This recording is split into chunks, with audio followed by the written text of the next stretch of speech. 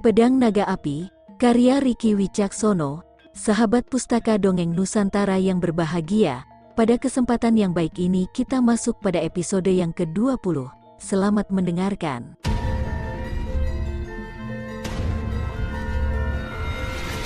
Tanah yang mencengkram kaki Sabrang mulai terlihat retak tak mampu menahan kekuatan Sabrang. Ajian mencengkram langit sudah mencapai batasnya, Padahal baru 60% kekuatan yang berhasil dikeluarkan naga api, aku harus cepat, Braja Musti kembali menyerang Sabrang namun lagi-lagi perisai batu menghalangi serangannya. Perisai itu merepotkan sekali, Braja Musti menggelengkan kepalanya. Tetua aku ingin minta tolong padamu, Bahadur yang dari tadi mengamati berbicara pada Dharma. Ada apa ketua? Dharma mengernyitkan dahinya. Gunakan jurus pedang kilat untuk menyerang perisai itu, kita harus membantu tetua Braja Musti menyingkirkan batu itu. Sepertinya perisai batu itu tidak sekuat tadi, tubuh anak itu hampir mencapai batasnya menerima tekanan kekuatan naga api. Tapi tetua bukankah Anda melarang kami menggunakan jurus terlarang itu? Aku tahu namun kita tidak punya pilihan lain. Jika ilmuku tidak dimusnahkan Batara aku yang akan menggunakannya sendiri. Dharma mengernyitkan dahinya, dia baru sadar jika Batara tidak terlihat dari tadi dan apa yang dimaksud dengan memusnahkan ilmu milik Bahadur. Namun dia sadar ini bukan saatnya bertanya, baiklah ketua aku akan mencobanya. Tubuh Dharma melesat ke arah Sabrang dan merapal sebuah jurus. Pedang kilat, aura putih menyelimuti pedang Dharma sesaat sebelum menghantamkan pedangnya pada Sabrang. Braja Musti melompat mundur menyadari aura besar pada pedang Dharma. Tak kusangka kelelawar hijau mempunyai ilmu pedang yang mengerikan ini. Serangan Dharma menghantam perisai batu yang melindungi Sabrang dan menghancurkan perisai tersebut. Namun pedang Dharma pun ikut hancur berkeping-keping.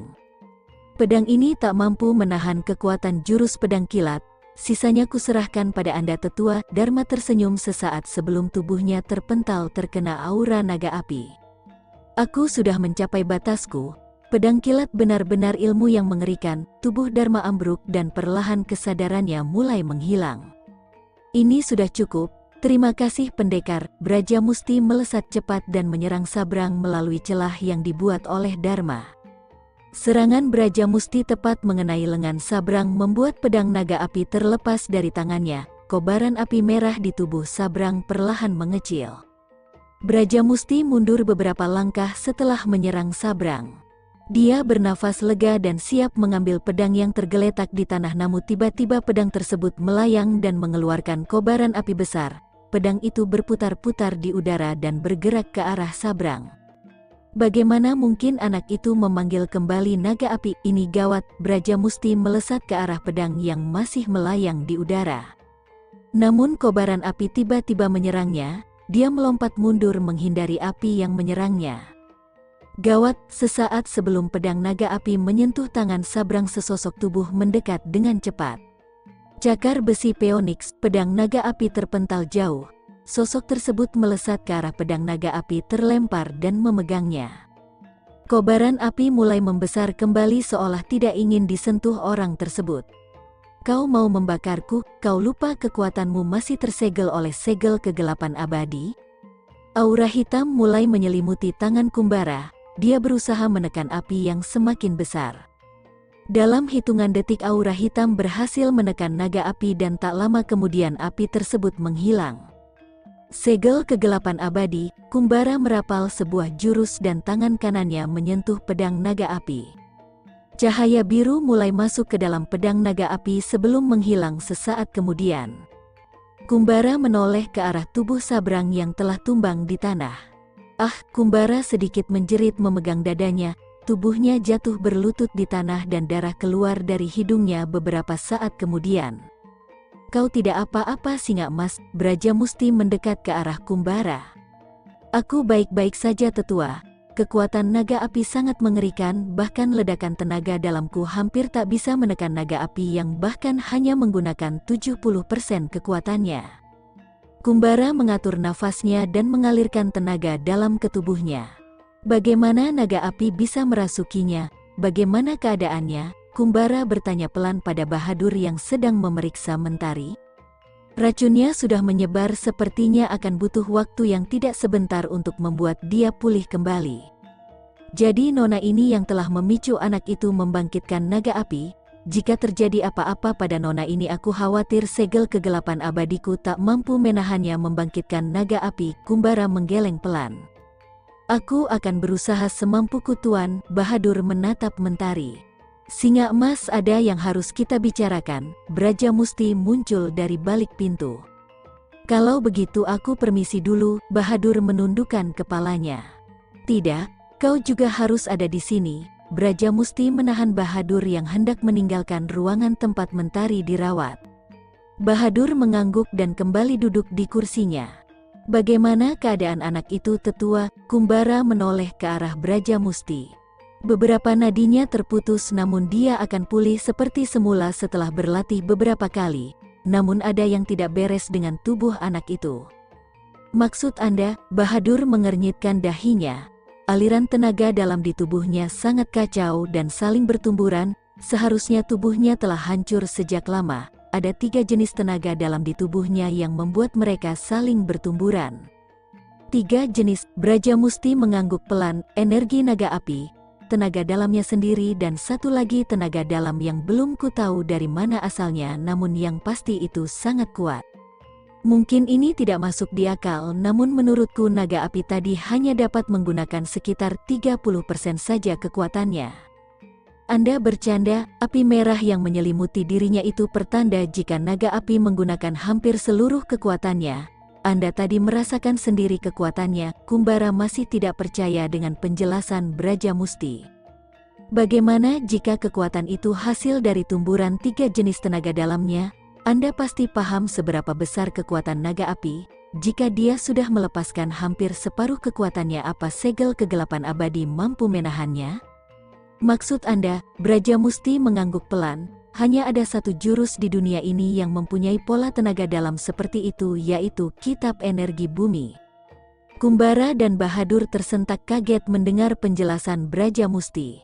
Kitab itu hanya legenda yang diceritakan turun-temurun tetua, belum ada yang benar-benar menemukan kitab itu dan bisa mempelajarinya, lagi pula tidak ada yang mau segila itu menghancurkan tubuhnya dengan menubrukan tenaga dalamnya.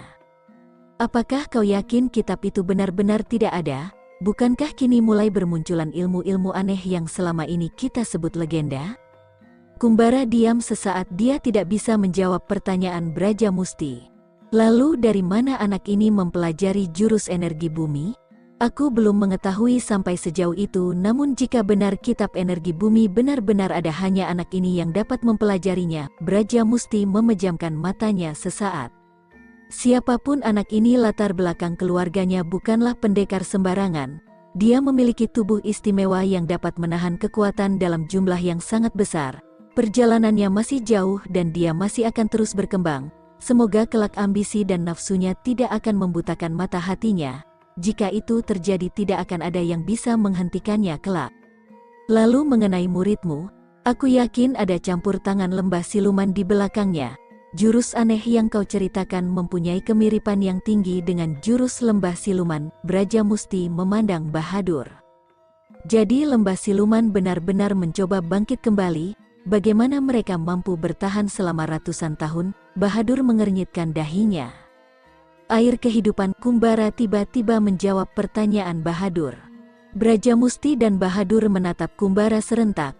Aku pernah hampir berhasil memasuki Dieng, sebuah tempat yang menjadi pusat kekuatan itu mempunyai danau berisi air kehidupan, namun danau tersembunyi itu dilindungi oleh segel empat unsur yang hanya bisa dinetralkan dengan pengguna segel empat unsur juga. Kita hanya akan melihat hamparan bunga mawar hitam jika segel itu tidak dibuka, air kehidupan itu yang mungkin membuat mereka abadi. Maksudmu lembah siluman berhasil masuk ke Dieng, Braja Musti mengernyitkan dahinya. Aku tidak tahu namun itu adalah salah satu kemungkinan mengapa mereka bisa bertahan ratusan tahun. Anda pernah ke Dieng? Bahadur menatap Kumbara penasaran. Kumbara mengangguk, lebih tepatnya hampir masuk. Aku menemukan gerbang ke Dieng secara tidak sengaja, saat itu perasaanku begitu gembira. Gambaran akan menjadi pendekar terkuat melintas di pikiranku. Namun Dieng bukan tempat yang indah, bukan tempat yang bisa didatangi manusia. Dieng bagaikan tempat para dewa untuk menyegel semua kekuatan iblis. Saat kau mulai melangkah memasuki gerbang Dieng hawa nafsu dan ambisimu menjadi tidak terkontrol seakan ada segel yang menarik semua sifat jahatmu keluar. Kau bisa dengan mudah mendapatkan kekuatan di sana namun kau pun akan dengan mudah kehilangan sifat belas kasihanmu Itulah kenapa banyak cerita pendekar yang berhasil masuk ke sana akan berakhir gila dan menjadi iblis pembunuh. Aku pun mengalaminya. Teman baikku mati di ujung pedangku karena aku merasa dia bisa menjadi penggangguku. Kepalaku sakit memikirkan jika dia bisa lebih hebat dariku. Ambisiku untuk menguasai seluruh isi Dieng membuatku gelap mata dan berakhir dengan membunuhnya. Kurasa kabut yang menutupi hampir seluruh Dieng adalah sebuah segel kuno yang dapat membuat semua orang kehilangan kendali atas tubuhnya, mirip dengan anak itu saat naga api merasukinya. Kau tidak akan berhenti sampai tubuhmu hancur. Dengarlah kurasa Dieng diciptakan untuk sesuatu yang lebih besar namun bukan untuk kita manusia. Biarkan alam mencari keseimbangannya sendiri. Semua ada batasnya. Sejak saat itu aku bersumpah untuk menyimpan rapat letak Dieng berada. Jadi tempat itu benar-benar ada, jadi naga api telah bangkit, seorang kakek tua dengan janggut panjang duduk di kursi yang hampir mirip dengan singgasana raja. Benar ketua aku melihatnya sendiri, Batara berbicara terbata-bata, tubuhnya terasa hancur menerima tekanan aura pria tua tersebut. Menarik, Tak kusangka aku akan bertemu dengan naga api yang hampir membunuhku ratusan tahun lalu, pria itu menyeringai pada Batara. Ke, ketua bolehkah aku undur diri? Batara merasa nyawanya dalam bahaya saat melihat pria tersebut tersenyum licik padanya. Pria tersebut mengarahkan tangan kanannya ke arah Batara, tiba-tiba tubuh Batara melayang dan bergerak cepat ke arah pria tersebut seperti terhisap sesuatu. Beberapa saat kemudian tangan pria tersebut telah mencengkram lehernya. Ketua maafkan aku, Batara bernafas tersenggal-senggal. Lembah siluman tidak pernah sudi menerima sampah sepertimu. Ku beri waktu satu purnama jika kekuatanmu tidak mengalami kemajuan pesat aku akan membunuhmu. Pria itu menatap tajam Batara. Baba baik ketua tubuh Batara terlempar jauh seperti terdorong sesuatu. Pergilah atau aku berubah pikiran, baik ketua, Batara pergi dengan tergesa-gesa. Masuklah Maruta, pria tersebut memanggil pria yang menyelamatkan Batara tadi. Selidiki siapa anak pengguna pedang api itu, aku ingin tahu seberapa kuat naga api kini, aku tidak akan kalah kali ini. Baik ketua, sepeninggal Maruta pria tersebut tersenyum kecil. Tidak kusangka akan secepat ini naga api dan pedang langit muncul di dunia persilatan namun tidak akan mengubah apa pun aku akan menguasai dunia persilatan. Nak kau hampir saja membunuh banyak orang dengan tanganmu, pria tua tiba-tiba muncul di hadapan Sabrang. Siapa sebenarnya Anda? Dia hanya serangga tidak berguna, suara naga api terdengar keras di kepala Sabrang. Sabrang menoleh ke arah suara berasal, Terlihat kobaran api berbentuk sesosok tubuh sedang terikat oleh aura biru yang membentuk tali. Naga api, Sabrang bangkit dan mencoba mendekat untuk membuka tali yang mengikat naga api namun tiba-tiba kakek tua itu sudah muncul di hadapannya. Kuharap kau tidak melakukannya nak, tapi kek. Kau belum bisa mengendalikannya nak, jika kau memaksa membuka segelnya maka kau akan dikuasai olehnya. Kau jangan ikut campur tua bangka, atau aku akan membakar. Membakar rohku, coba saja dengan tubuh terikat segel itu, kakek tua itu tertawa mengejek. Kau, naga api berusaha melepaskan ikatannya namun semakin dia berusaha melepaskan ikatannya semakin kuat segel itu mengikatnya. Aku akan menceritakan sesuatu padamu tunggulah aku di sana, aku akan mengurus naga api terlebih dahulu. Kakek tua itu melangkah mendekati naga api dan menempelkan tangannya, Cahaya kuning mengalir dari tangannya dan menekan naga api. Segel empat unsur, bagaimana kau menguasainya? Suara naga api meninggi. Kakek itu tersenyum kecil, kau lupa kita berasal dari tempat yang sama. Kini aku telah menyegelmu dengan segel empat unsur. Aku rasa kau yang paling mengerti kekuatan segel itu, jika kau mencoba merasuki anak ini lagi maka segel itu akan aktif dan menelan seluruh kekuatanmu. Kau pikir segel itu mampu menahanku selamanya, naga api terkekeh. Aku tahu tidak ada segel apa pun yang dapat menahan kekuatanmu selamanya, tapi jika kau membuat segel itu aktif minimal kau akan tertidur ratusan tahun, aku rasa sudah cukup bagi anak ini. Kau, mungkin kekuatanmu jauh di atas semua benda pusaka di dunia ini namun kau lupa satu hal jika akulah pusaka tertua di dunia ini, Pengalamanku selama ribuan tahun membuatku bertambah kuat dan mengenal bermacam jurus penggunaku. Kau selalu membanggakan sebagai pusaka tertua Anom karena memang hanya itu yang bisa kau banggakan.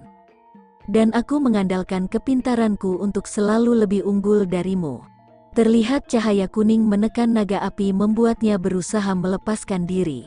Kurang ajar kau Anom, perlahan kobaran api menghilang.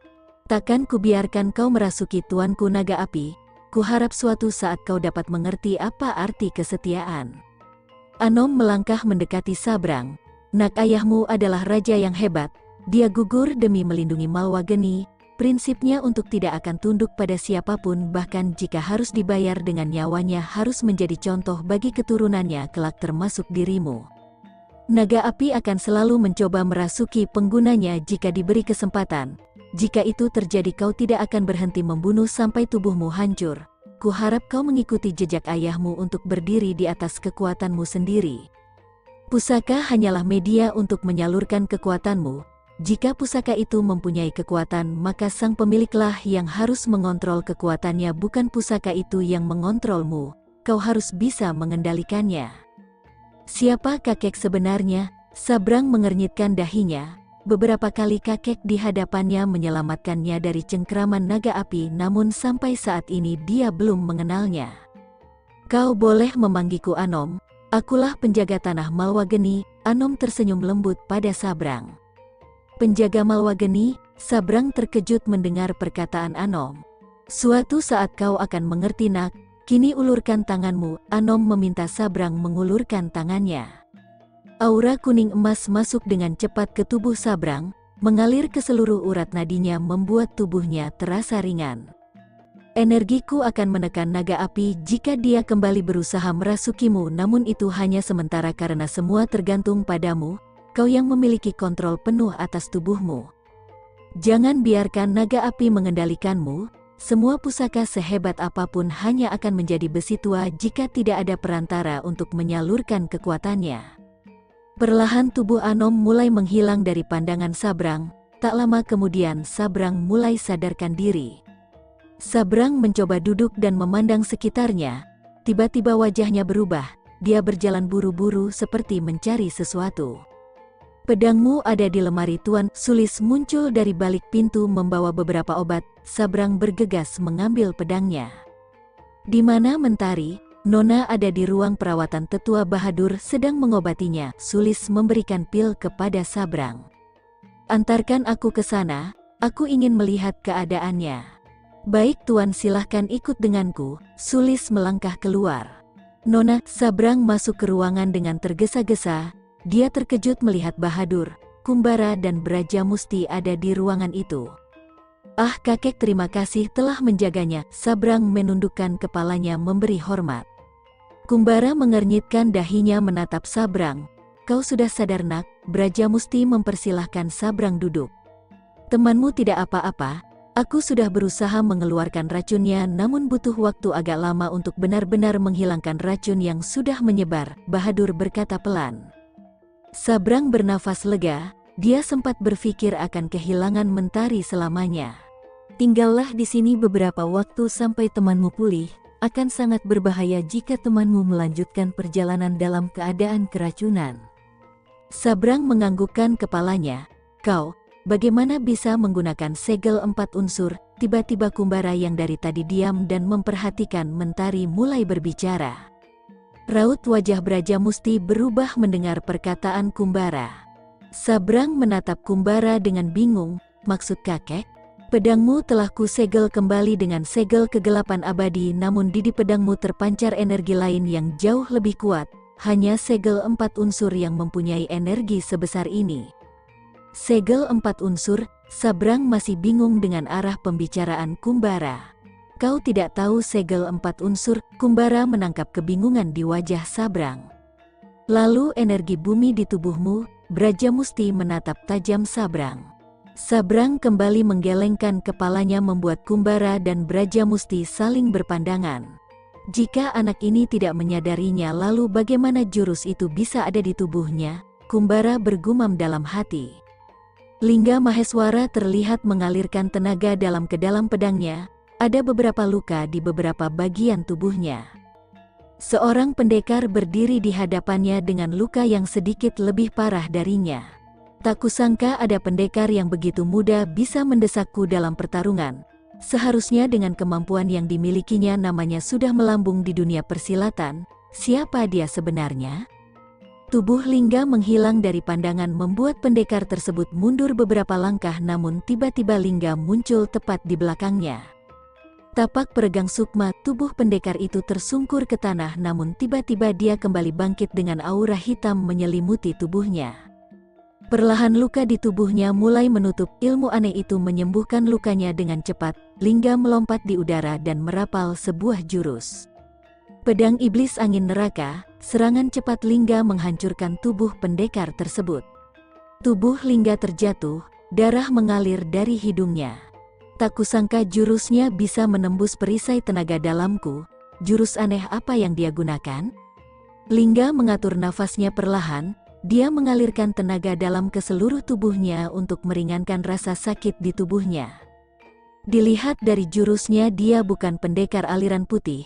Kenapa dia tiba-tiba menyerangku? Ada yang tidak beres dengan dunia persilatan kini, banyak jurus aneh dan kuat mulai bermunculan aku harus melaporkan pada ketua, Lingga melesat cepat dan menghilang di antara rimbunan pohon. Kau sedang mencari kitab energi bumi, Kumbara tak bisa menyembunyikan rasa terkejutnya mendengar Sabrang mengatakan kitab energi bumi. Benar ke itulah kenapa aku sedang mencari letak keberadaan Dieng, Sabrang bicara pelan. Raut wajah Kumbara berubah dingin, jauhi Dieng, Kau tidak tahu bahaya besar yang menunggumu di sana. Dengan bakat dan kemampuanmu yang besar kau hanya akan menjadi bencana bagi dunia persilatan jika pergi ke sana. Sabrang mengernyitkan dahinya. Maksud kakek, ada tempat yang seharusnya tidak kita datangi demi kebaikan kita sendiri. Kumbara menoleh ke arah Braja Musti dan mendapat anggukan dari Braja Musti.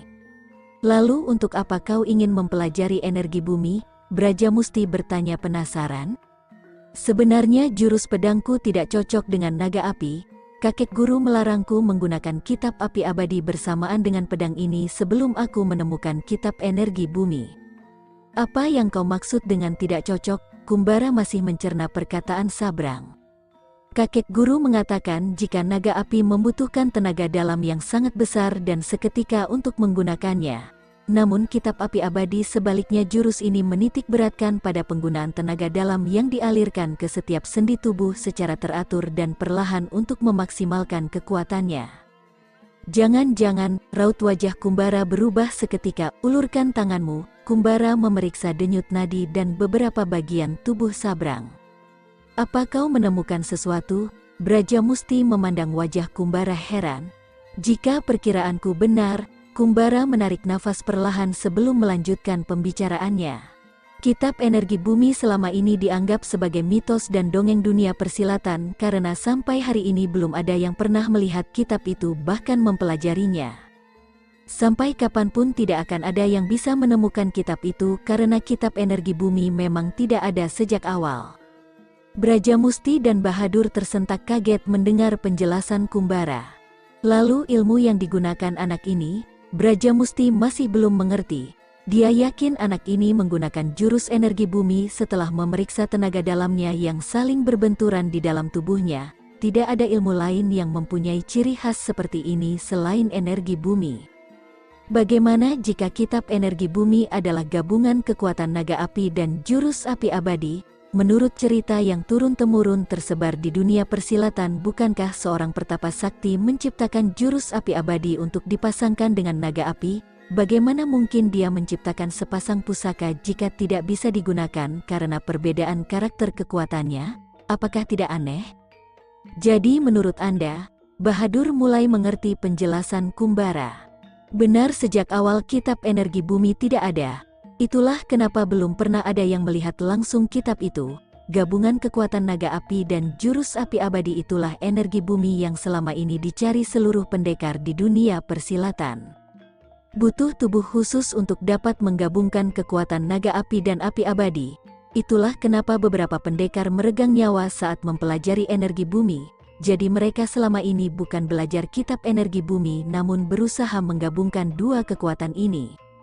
Dan tubuh anak ini dapat menahan efek benturan tenaga dalam, Itulah kenapa dia tidak sadar telah menguasai energi bumi. Kumbara menatap Sabrang, dari mana kau bisa mendapatkan tubuh itu? Ayahmu adalah seorang Raja Malwageni, bahkan kau bukan keturunan pendekar hebat. Bagaimana ini bisa terjadi? Kumbara berkata dalam hati. Jadi maksud kakek, Sabrang yang dari tadi terdiam bertanya pelan. Aku belum yakin itu hanya perkiraanku, Ikut denganku kita akan lihat apakah perkiraanku benar. Kumbara bangkit dari duduknya dan melangkah keluar diikuti Sabrang di belakangnya yang masih kebingungan. Singa emas kau, Braja Musti menatap tajam Kumbara. Tetua, Anda sudah melihat tanda-tanda lembah siluman mulai bangkit kembali. Kekuatan iblis hanya dapat dikalahkan dengan kekuatan iblis juga.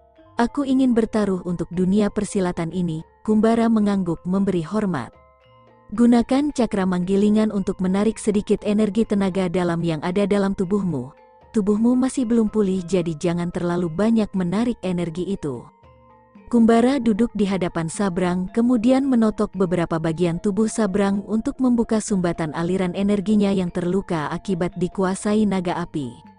Salurkan secara acak ke seluruh sendi tubuhmu, Ingat pesanku jangan gunakan terlalu banyak tenaga dalam karena tubuhmu belum terlalu siap. Kumbara menatap Sabrang yang mulai diselimuti kobaran api namun kali ini api tersebut tidak terlalu besar. Energi naga api yang ditariknya sedikit sekali, mungkin efek segel empat unsur sehingga kekuatan naga api tersegel. Kumbara bangkit sambil memegang pedangnya, cukup, Bangunlah sekarang kita lihat seperti apa energi bumi yang dicari semua orang selama ini. Sabrang membuka matanya dan bangkit dengan pedang naga api di tangannya.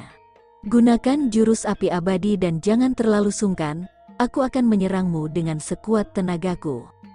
Baik kek, Sabrang mengangguk, Kumbara menghilang dari pandangan Sabrang dan muncul di atas dengan pedang terhunus. Sabrang melompat mundur namun Kumbara lagi-lagi muncul di belakangnya. Cakar besi Peonix, serangan Kumbara mengenai perisai es yang muncul beberapa saat sebelum mengenai tubuh Sabrang. Sabrang terpental mundur. Kau masih belum bisa menggunakan energi bumi, gunakan api abadimu. Kumbara kembali menyerang Sabrang dengan cepat. Beberapa serangan Kumbara nyaris mengenai Sabrang, terlihat Sabrang mulai terdesak. Gunakan instingmu, Kumbara menyerang dengan cepat. Cakar besi Peonix, tubuh Sabrang terpental terkena serangan Kumbara. Kumbara kembali menghilang dari pandangan Sabrang. Apa ini? Tenaga dalamku seperti meledak-ledak. Apa ini yang dinamakan energi bumi? Sabrang bergumam tepat sebelum Kumbara menyerangnya. Kau masih kurang cepat sesaat sebelum jurus Kumbara mengenai sasarannya tiba-tiba Sabrang menghilang dari pandangan Kumbara. Tidak mungkin cakar es utara, Sabrang tiba-tiba menyerang dari belakang. Kumbara terpental mundur dengan es menyelimuti tangannya. Jangan-jangan Kumbara kembali meningkatkan kecepatannya namun lagi-lagi Sabrang dapat menghindari dengan mudah. Jurus pedang api abadi tingkat 2, tarian pedang api, Sabrang muncul di udara. Terlihat api berbentuk naga melesat cepat ke arah Kumbara. Gawat luka dalamku belum sembuh, Kumbara melompat mundur menghindar. Dua ar, ledakan api abadi membentuk lubang yang besar di tanah. Kumbara terpental mundur terkena efek ledakan jurus api abadi. Beberapa serpihan batu melesat cepat ke arahnya. Tidak sempat Kumbara berusaha menghindar namun terlambat, dia memejamkan matanya siap menerima serpihan batu yang melesat cepat ke arahnya. Tameng Dewa Perang, Braja Musti muncul di hadapan Kumbara. Aura biru menghalangi serpihan batu yang hampir mengenai Kumbara. Kekuatan ini, Braja Musti merasakan tekanan besar dari ledakan jurus api abadi. Braja Musti menoleh ke arah Kumbara. Kau terlalu memaksakan diri singa emas, tubuhmu masih terluka akibat bertarung dengan naga api kemarin. Kumbara terlihat tersenyum kecil, inilah jurus yang selama ini dicari semua pendekar tetua, energi bumi. Braja Musti menggeleng pelan melihat jurus mengerikan di hadapannya. Dia bahkan hanya menggunakan 20% kekuatan naga api. Selama ini aku menghabiskan hampir separuh hidupku untuk mencari kitab energi bumi, bahkan sampai membunuh orang ternyata energi bumi bukan sebuah kitab, Kumbara menertawai dirinya sendiri. Sabrang mendekat ke arah Kumbara, kakek, Anda baik-baik saja, maaf ke aku tidak tahu. Tenaga dalam itu hampir meledak di dalam tubuhku dan keluar begitu saja melalui pedang ini. Tidak apa-apa nak, aku hanya sedang terluka, Kumbara menatap Sabrang sesaat. Semoga kelak kau tidak menggunakan ilmu yang kau miliki untuk keburukan karena aku yakin sangat sulit untuk menghentikanmu jika kau berubah menjadi iblis. Aku ingin kau berjanji sesuatu padaku, Kumbara tiba-tiba berbicara. Apa kek, jauhi Dieng, kau sudah menemukan apa yang kau cari selama ini, kau tidak mengerti betapa mengerikannya kekuatan tersembunyi dalam dirimu jika dia bangkit.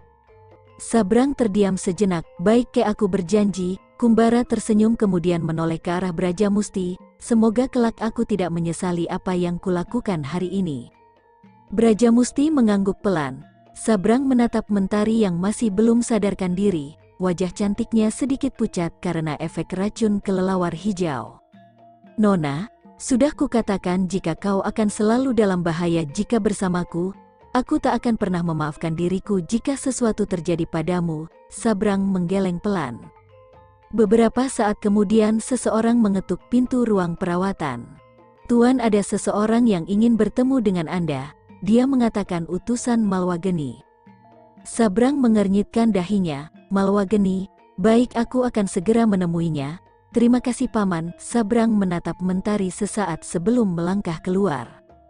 Hormat pada pangeran, Wardana yang telah menunggunya berlutut memberi hormat. Sabrang mengangguk dan mempersilahkan Wardana duduk. Ada apa paman? Ada sesuatu yang harus hamba sampaikan tuan. Namun sebelum itu hamba dengar teman seperjalanan Anda terluka? Ah iya paman, Nona Mentari terkena racun kelelawar hijau namun paman Bahadur sedang mengobatinya.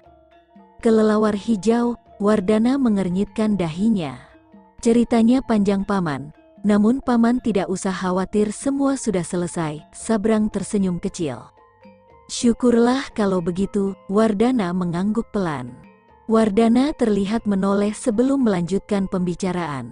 Beberapa hari ini ada sedikit keanehan dengan pergerakan Majasari. Separuh pasukan di Kadipaten Rogo Geni kabarnya akan ditarik kembali ke keraton. Bukankah itu aneh? Sabrang masih mencoba mencerna pembicaraan Wardana, karena untuk beberapa wilayah Malwageni dia belum terlalu mengetahui. Rogo Geni, Sabrang mengernyitkan dahinya. Ah maaf pangeran, Rogo Geni adalah salah satu wilayah Malwageni dulu sebelum ditaklukkan Majasari. Kadipaten Rogo Geni menjadi pusat perdagangan beberapa kerajaan sehingga menjadi kadipaten paling penting untuk Malwageni. Hal ini berlaku juga buat Majasari, itulah sebabnya mereka menempatkan pasukan dalam jumlah besar di Rogo Geni. Namun beberapa hari ini mereka akan menarik sebagian besar pasukan dari sana. Apakah ini berhubungan dengan perayaan hari lahir putri mahkota Saunggalah? Sabrang mengernyitkan dahinya.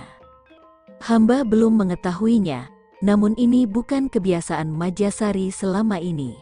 Lalu apa rencana paman? Perayaan hari lahir putri Kenanga akan dilaksanakan satu purnama lagi. Aku sedikit ragu untuk menjalankan rencana kita.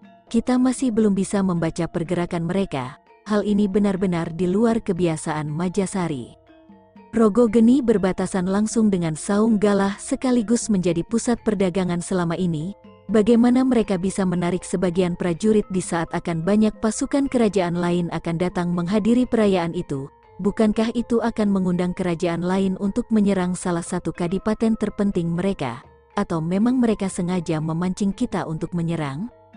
Wardana memejamkan matanya sesaat, kali ini dia benar-benar belum bisa membaca gerakan Majasari. Hamba ingin meminta sesuatu pada pangeran jika berkenan, Wardana menundukkan kepalanya. Katakan paman, hamba harus mencari informasi apa yang terjadi di Rogo Geni sebelum perayaan itu dan hanya satu orang yang dapat membantu kita saat ini. Tuan Mada adalah mantan Adipati Rogo Geni saat masa kekuasaan yang mulia Raja. Ku dengar dia diasingkan di Pulau Tengkorak. Hamba akan mencoba mencarinya namun ada satu masalah pangeran. Wardana berhenti sesaat. Masalah apa paman? Sabrang menatap Wardana. Hubungan hamba dengannya kurang baik selain itu Tuan Mada hanya akan mendengarkan perintah yang mulia Raja. Hamba takut dia akan mengacuhkan permintaan hamba. Wardana menunduk tak berani menatap Sabrang. Sabrang mengangguk pelan, dia mengerti permintaan Wardana. Aku akan ikut denganmu ke Pulau Tengkorak, semoga dia mau mendengarkan permintaanku. Hamba mohon maaf Pangeran, Wardana berlutut di hadapan Sabrang. Bangunlah Paman, Aku sudah bilang akan membantu semampuku untuk merebut kembali Malwageni namun aku ingin paman mengirim beberapa orang untuk menjaga Nona Mentari di sini selama kita pergi. Hamba menerima perintah, lalu kapan kita akan berangkat? Pulau Tengkorak adalah salah satu pulau yang paling terisolasi di kerajaan Majasari. Kapal yang menuju ke pulau tersebut hanya satu kali sehari untuk mengantar bahan makanan para tahanan, itu pun dengan pemeriksaan ketat dan berlapis. Dua hari lagi akan ada penarikan pasukan dalam jumlah besar dari Rogo Geni dan akan melewati pelabuhan itu. Kita akan memanfaatkan situasi tersebut untuk menyusup ke dalam kapal. Sabrang mengangguk pelan, lalu di mana Paman Wijaya Gundala saat ini? Tuan Gundala ada di keraton Saunggalah untuk membicarakan rencana yang telah kita susun, ku harap kali ini berjalan lancar. Wardana menatap ke atas sesaat, Firasatnya mengatakan kali ini tidak akan mudah, entah kenapa gerakan tidak biasa Majasari membuat Wardana khawatir. Seorang pria tua menatap langit malam dengan nafas yang tak beraturan, wajahnya penuh dengan luka pukulan. Anda mencoba melarikan diri lagi, seorang pemuda menggelengkan kepalanya melihat pria itu babak belur. Pria tua itu tak menjawab pertanyaan pemuda di hadapannya, dia masih mencoba menekan rasa sakit di tubuhnya. Pulau ini dijaga oleh beberapa pendekar tingkat tinggi dari iblis hitam. Selain itu hanya ada satu akses jalan untuk menuju ke dermaga. Anda tidak akan bisa melewati penjagaan pendekar tersebut. Malwageni sudah hancur tuan, Anda tak harus melakukan ini sudah saatnya Anda istirahat menikmati masa tua. Aku yakin suatu saat kami akan bangkit dan merebut kembali Malwageni dan aku harus mempersiapkan semuanya, pria itu berbicara tanpa menoleh ke arah pemuda tersebut. Anda masih menunggu pangeran, bahkan usianya baru sembilan bulan saat dia menghilang di tengah serbuan pasukan Majasari, kita tidak tahu dia selamat atau tidak. Raut wajah pria tua tersebut berubah, dia mencengkram leher pemuda tersebut. Sekali lagi kau bicara buruk tentang pangeran, Aku bersumpah akan membunuhmu. Ma, maaf tuan pria itu melepaskan cengkramannya dan kembali duduk. Aku tidak mau mati di pulau terkutuk ini sebagai pengecut. Aku akan berjuang keluar dari sini sekecil apa pun peluangnya. Pemuda itu menatap kagum pria tua di hadapannya. Kesetiaannya pada Malwageni tidak berkurang sedikit pun walau siksaan yang diterimanya selama ini. Anda benar-benar seorang prajurit sejati Tuan Mada. Aku masih tidak mengerti bagaimana seorang pengecut sepertimu bisa bertahan berada di pulau ini, Mada menatap pemuda tersebut. Pemuda itu terlihat tersenyum kecil, semua karena kebodohanku. Kau tidak bodoh, apa yang kau lakukan sudah benar. Pemuda itu tersenyum kecut, ayahku mengabdikan seumur hidupnya untuk Malwageni namun apa yang dia dapat, hukuman mati. Yang mulia raja tidak melakukan itu, Beberapa pejabat Malwageni saat itu telah berkhianat dan memfitnah ayahmu untuk menggulingkannya dari Kadipaten Joyogeni. Tapi orang yang Anda panggil yang mulia raja harusnya bisa mencegah itu terjadi. Bukankah dia adalah Raja Malwageni? Suara pemuda itu meninggi, ada kebencian tersirat di wajahnya. Kau belum memahami tentang sistem pemerintahan Nak, ada banyak kepentingan di sana dan berusaha menekan yang mulia raja, Terlepas dari kesalahannya selama ini dia adalah raja yang baik. Raja yang baik, dia hanya berusaha melanggengkan kekuasaannya dengan menghukum mati ayahku.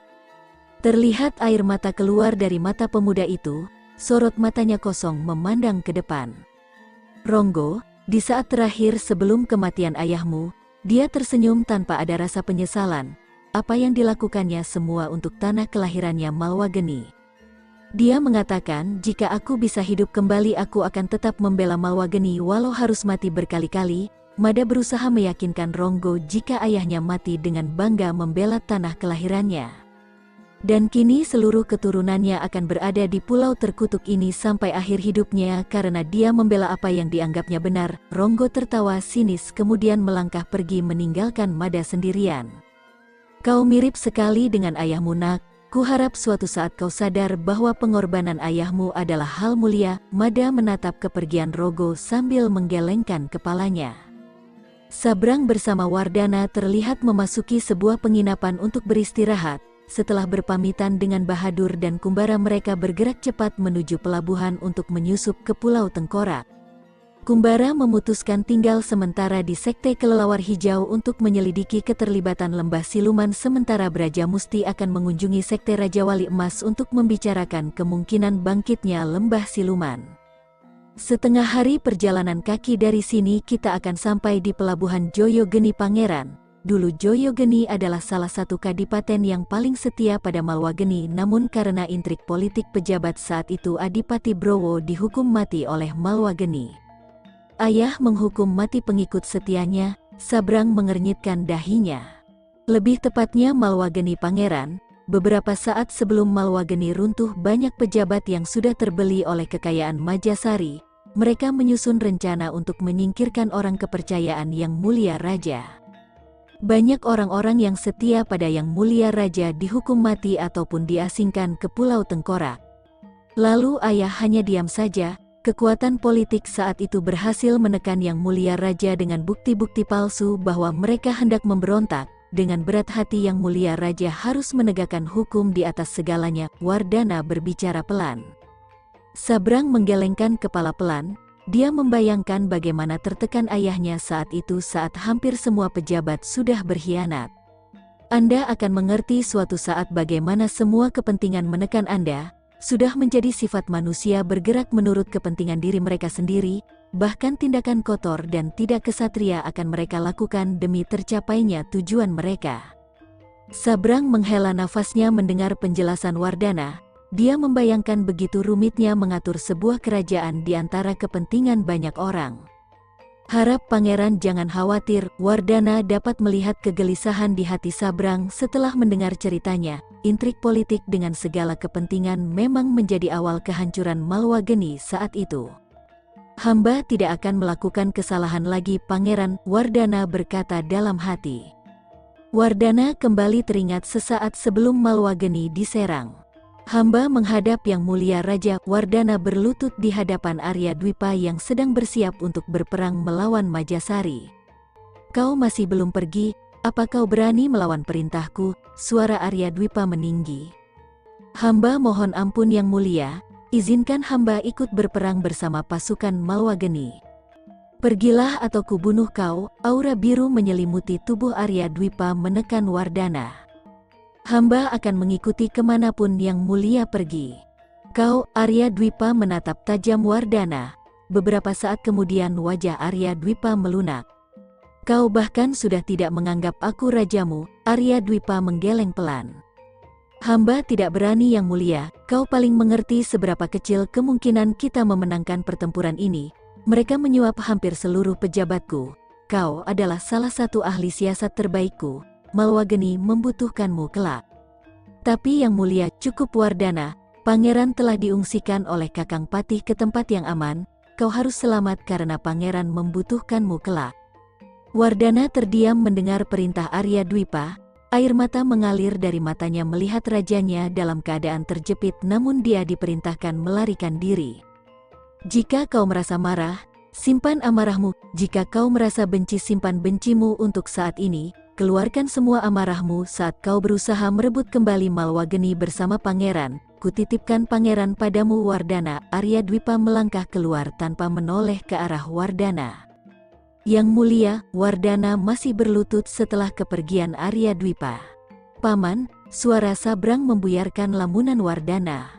Ah iya maaf pangeran, apakah ayah saat itu tidak bisa bertindak terhadap para pejabat yang berkhianat? Wardana menggeleng pelan, semua tidak sesederhana itu pangeran. Yang Mulia bukan tidak menyadari para pejabat mulai meninggalkannya namun semua sudah terlambat saat dia sadar. Kekuasaan seorang raja memang absolut namun kekuatan politik, pembisik yang selalu ikut campur dalam pengambil keputusan seorang raja sangat mempengaruhi semua kebijakan yang diambil. Yang Mulia adalah seorang raja yang baik namun beberapa pembisiknya banyak yang berkhianat demi kepentingan mereka sendiri. Sabrang mengangguk pelan, Kini perlahan dia mengerti beban yang harus ditanggung ayahnya dulu. Ku dengar pasukan Majasari banyak yang ditarik dari Kadipaten Rogogeni, seorang pendekar berbicara pada temannya. Sepertinya begitu, kabar yang kudengar semua atas permintaan Tuan Paksi. Entah apa yang ada dalam pikiran yang mulia masih mempercayai orang itu, pendekar satunya menimpali. Paksi, Wardana mengernyitkan dahinya, Pantas saja gerakan mereka kini sulit terbaca jadi ini siasat yang dibuat Paksi, Wardana bergumam pelan. Paman mengenali Paksi itu, Sabrang bertanya setengah berbisik. Bukan hanya kenal pangeran, dulu dia adalah salah satu ahli siasat terbaik Malwageni, bisa dikatakan dia adalah guruku dalam ilmu perang namun ambisi dan sifat liciknya selalu merugikan Malwageni. Setelah pengkhianatan yang dia lakukan terhadap Yang Mulia Raja saat berperang dengan Kerajaan Kertajaya yang berujung kekalahan yang diterima Malwageni akhirnya Yang Mulia mengusirnya. Beberapa lama setelahnya aku mendengar dia bergabung dengan Majasari. Salah satu faktor yang memudahkan mereka menaklukkan Malwageni adalah bocornya kekuatan tempur Malwageni, namun ku dengar setelah Malwageni jatuh dia kembali berkhianat terhadap Majasari dan diasingkan di Pulau Tengkorak. Sahabat Pustaka Dongeng Nusantara demikian tadi, cerita Pedang Naga Api, karya Riki Wicaksono, bagaimana kelanjutan kisahnya?